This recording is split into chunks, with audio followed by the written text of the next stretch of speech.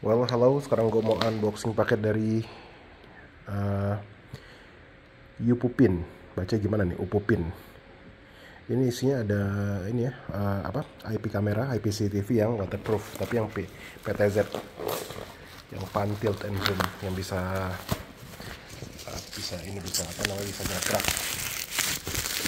Nah, ini, ini harganya 329.000 bilangnya sih water waterproof ya. Tapi coba ntar gue lihat dulu nih bener waterproof nggak? Soalnya gue tadi mau beli yang fix. Kalau fix tuh untuk dia waterproof atau mungkin bukan waterproof lah water resistant kita sebutnya. Itu lebih meyakinkan tapi kalau yang PTZ gini tuh agak-agak ngeri karena ada motornya dan ada pergerakan. Takut gue masuk air karena ini mau gue taruh di luar gitu. Makanya mau gue lihat dulu gue cek dulu. Kalau tidak meyakinkan untuk uh, gue taruh luar terpaksa gue taruh di uh, di balkon di balkon tapi yang ada atapnya deh. Ya tetap kena air tapi ciprat-cipratan lah mungkin lah. Better dibanding yang kena hujan langsung gitu ya. Ini dusnya penyok-penyok tapi kita lihat dalamnya ya. Harganya 329 ya tadi.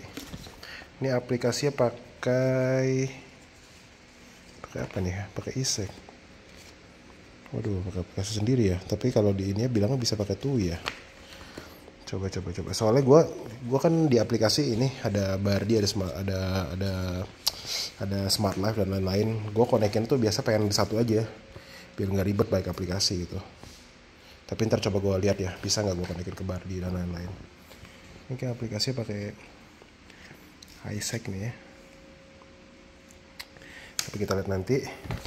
Ini ada mountingnya buat ditempel dinding or something bukan mounting apa sih? Kayak kayak sebelum ditempel sama uh, bracketnya ada ini dulu gitu. Oke ini CCTV nya ada bubble wrapnya ya bubble wrapnya bagus. Literally bubble. Ini untuk antena wifi nya nih. Tapi gue ntar pakai LAN aja biar lebih stabil. Nah nah kalau kayak gini Iya, ini bisa dibilang uh, water bukan waterproof, water resistant karena sistemnya dia kayak mangkok gitu nutupin ya. Cuman kalau hujan deras banget, aduh gue masih ngeri-ngeri sedap juga nih. Kayak nanti gue kasih lagi bibir solatif tuh apalah biar nggak nggak masuk gitu. Ini sih kalau kayak gini hujan kan nggak harusnya nggak masuk karena gravitasi. Make sure masangnya benar-benar rata banget ya. Kalau miring begini bisa masuk ke dalam kena motornya dan lain-lain nih. Ini ada sensornya ini nih yang ini buat cancel cahaya ya. Jadi kalau dia gelap nanti lampunya nyala. Dan ini kayaknya dia punya lampunya lampu LED juga punya nih selain selain infrared.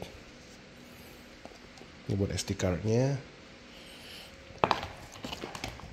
Terus ini buat LAN ini buat power. Biasanya sih pakai DC 12 volt. Nih pakai DC 12 volt 2 ampere. Ini water resistant masalahnya adalah tahu gak dari ini apa? Oke lah ini water resistant. Ininya loh kabelnya sependek ini ya tetap aja.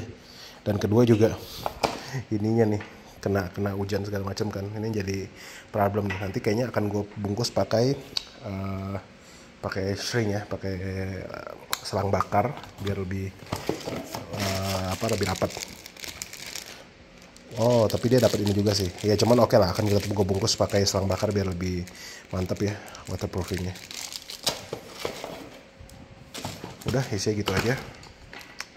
Dan ya udah gitu dulu. Oke, bye.